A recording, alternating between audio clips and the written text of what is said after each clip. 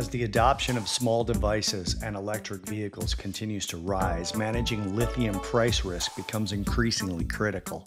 Lithium is a key component in the batteries that power these technologies, and its demand has surged alongside the growth of the EV market. This heightened demand and supply chain complexities have led to significant price volatility.